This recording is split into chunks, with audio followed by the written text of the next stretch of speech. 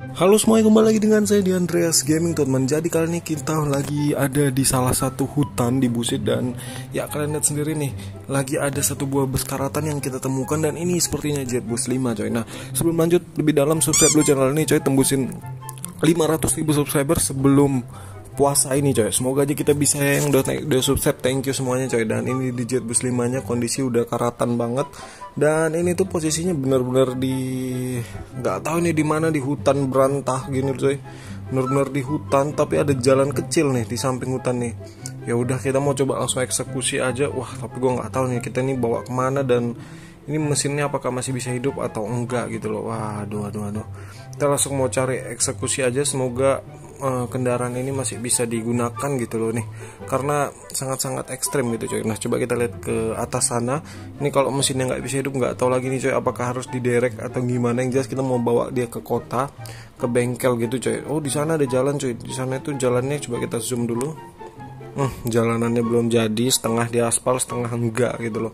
Kayak jalanan-jalanan ancur-ancuran gitu. Ini juga wah parah yang jadi masalah utamanya itu sekarang si bus ini tuh gimana? Masih bisa hidup atau enggak? Dan gimana cara kita bawa dia ke bengkel gitu loh? Karena ini tuh lumayan cukup jauh dari peradaban gitu loh. Semoga aja masih bisa hidup. Dan ya kita lihat sendiri nih jet bus di mana sebenarnya masih bagus cuman udah karatan-karatan aja sih. Oke langsung aja coba tanpa berlama-lama kita masuk dulu ke dalamnya dan kita tes sama-sama teman. Kita coba tes hidupin mesin dulu ya teman-teman karena ini kan udah lama banget kayaknya ini di sini. Ini kita masuk masih bisa sih coba ya. Wah mesinnya kayak nggak ada respon. Oh dia kayak mati hidup mati hidup gitu. Bisa kalian denger ya?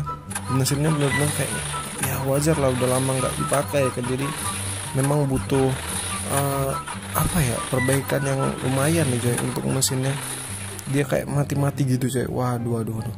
Gimana nih caranya coy? Apakah kita harus panggil bala bantuan untuk ngederek si bus yang satu ini coy? Karena ini kan lokasinya bener-bener di hutan gini coy. Waduh. Oke coba dulu kita cari bantuan coy Akhirnya bantuan kita datang coy. Kita langsung towing aja si jet bus 5 ini. Karena nggak bisa hidup coy. Ini dramatis banget. Kita udah panggil bengkel tapi nggak hidup-hidup. Jadi mau nggak mau kita naikin towing Dan kita langsung bawa dia ke bengkel di kota terdekat coy. Nah seperti apa keseruannya? Langsung aja. Setelah misi yang dramatis itu coy Nih udah di bengkel. Dan bus kita katanya udah selesai diperbaiki mesinnya. Tapi bodinya belum ya kan? Bodinya masih begitu aja tuh. Mana tadi bus kita? Nah ini dia coy busnya udah bisa hidup katanya mesinnya meskipun bodinya masih hancur-hancuran begini penyok semua nggak karu-karuan tuh coy. Sebenar-benar hancur semua ya kan? Waduh parah banget coy ini. Wah. Oke lah kita coba hidupin dulu mesinnya kita mau bawa dia ke bengkel dulu coy karena ini tuh lumayan parah banget coy.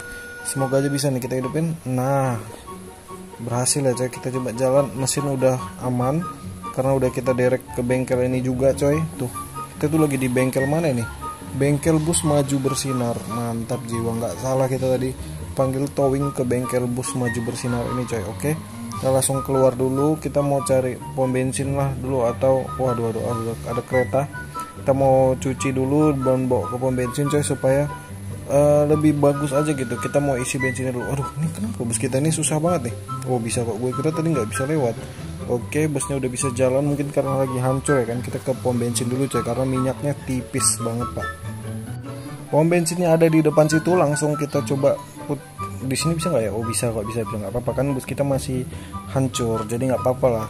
Kita tipis-tipis aja coy. Nah kita isi dia dulu bensin, bukan bensin sih solar. Kita isi solar dulu karena solarnya udah mau habis pen. Oke bisa nggak? Oke udah bisa ya. Tadinya itu nggak bisa seharusnya ini. Kita isi 12 liter aja lah, nggak usah banyak-banyak.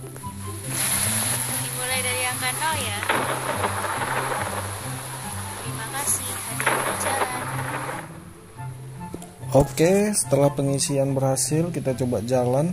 Di mana ya tukang cuci-cuci di sini? Eh, ini keren juga nih. Ada tempat untuk motor sekarang. Ini bisa ditabrak nggak? Seharusnya bisa ya kan, bisa digeser tuh seharusnya. Oke, hujan reda, kita lawan arah dikit nggak apa-apa. Kita mau cari tempat cucian, coy. Nah, kita terabas aja ini Propoden. Di mana ya tempat cucian yang bagus di sini, cuy? Kita coba lihat dulu di depan. Nah, apa itu itu tuh? Car wash. clean oke. Kita langsung karwas cuci bus siapir oke. Cuci bus siapir mantep banget namanya. Langsung aja kita pilih yang otomatis lah ya. Jangan yang manual gitu itu udah nggak zaman coy. Wih. Kita langsung pilih yang otomatis nah sip. Oke bayar 20.000 kita lihat proses pencuciannya. Uh apakah bus kita jadi bersih?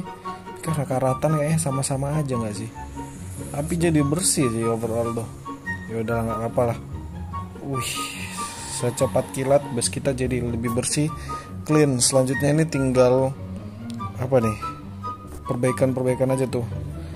Dalamnya itu kursinya masih hancur sih tapi udah dibersihin dashboardnya. Tapi kursinya itu karatan juga tuh udah koyak-koyak semua cuy ini masalahnya kita cari car detailingnya di mana gitu kan untuk ganti-ganti warnanya ini coy hmm, kita coba lihat-lihat dulu coy. Oke gue bingung di mana coy. Kita coba ke dekat sini aja kita cari. Tadi kita ke arah mana ya? Dari mana? Kok gue bingung? Oh kita di sebelah sana tadi. Oh itu itu tuh pintu masuknya itu di sana. Ini bus kita masih susah maju loh. Kenapa ya? Maju susah tapi mundur bisa nah kadang-kadang nggak bisa maju cuy tapi ya udahlah mungkin bodinya gitu ya kan perlu perbaiki nah itu dia tempat langganan kita cuy. Biasanya kita uh, detailing bus itu sini. Waduh pak pak kenceng banget bawa truk nggak kira-kira? Tuh kita mau ke sini tuh tuh bengkel dan cuci mobil. Kita mau masukin bus kita ke dalam ini dulu supaya diperbaiki dulu coy di sini. Kita masukin bengkel untuk detailing detailing tipis-tipis lah bus ini coy oke jadi kita biarin dulu dia di sini. Hmm, tapi kita nggak bisa keluar nih sempit soalnya. Oke oke oke. Kita putar balik dulu nggak apa-apa lah itu jadi macet di situ tuh karena kita. Tapi tarikan bus kita ini udah jauh lebih bagus gitu kan. Nah kita taruh dia di sini dulu pak supaya diperbaiki dulu nih busnya untuk detailing supaya lebih bagus nih jet bus 5 nih. Oke men, langsung aja kita coba keluar. Masih belum bisa. Harus agak maju dikit berarti nih. Oke, nggak apa-apa lah kita agak ke jalan. Masih belum bisa dong. Ini sangat-sangat menghalangi orang nih. Jadi inilah dia busnya coy. Setelah udah bagus diperbaiki jadi seperti ini coy. Nah tadi itu kan lokasinya sempit jadi dipindahin ke sini. Setelah di detailing jadi seperti ini KP Project. Kita lihat ini tuh nama bengkelnya KP gitu kan. KP Project dan inilah dia hasilnya coy Jetbus 5 hasil rombakan yang tadinya sudah karatan gak kepakai terbengkalai di tengah hutan sangat dramatis misi penyelamatannya coy oke? Akhirnya kita berhasil evakuasi dan kita modif jadi bagus detail seperti ini tanpa karat sama sekali. Untuk dalamannya juga bisa kalian lihat udah bagus banget. Jadi itulah dia coy kisah kita menemukannya coy bus terbengkalai ini.